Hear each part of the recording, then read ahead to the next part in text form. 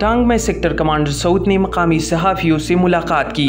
मुलाकात में तालीम की अहमियत और ज़रूरत के मुतालिक लोगों में शूर उजागर करने और फेक न्यूज़ की रोकथाम के लिए इकदाम पर तबादले ख्याल किया गया। कमांडेंट बाजोर स्काउट्स की सरबराही में तहसील खार के अमायदीन पर मुश्तमिल जरगा मुनद हुआ, जिसमें इलाके में अमन की फिजा को बरकरार रखने और लोगों को दरपेश मसाइल के हल के लिए मिलकर कोशिशें करने पर इतफाक़ किया गया। जनूबी वजीरस्तान के इलाके तबईसर में ब्रिगेड कमांडर ने मकामी मलक मशरान से मुलाकात की। मुलाकात में इलाके में क्याम अमन के लिए दहशत गर्दी के खिलाफ इतिहाद और मरबूत रद्दमल पर तबादले ख्याल किया गया। कुरम के इलाके अलीजई में मकामी विंग कमांडर की जीर क्यादत सिविल वास्करी हुकाम और मकामी मशरान पर मुश्तमिल इजलास हुआ, जिसमें रबीउल की तकरीबा के पुरमन इनका के हवाले से इकदाम पर इतफाक किया गया। पेशावर में मकामी कमांडिंग अफीसर ने चमकनी के मशरान से मुलाकात की। मुलाकात में इलाके के नौजवानों को मनफी रुझाना से दूर रखने और मस्बत सरगर्मियों के फरोग पर तबादले ख्याल किया गया। तहसील में रली के इलाके कजूर फोर्ट में मकामी यूनिट कमांडर और ए पी गाँव के मलक मशरान के माबेन जरगा हुआ,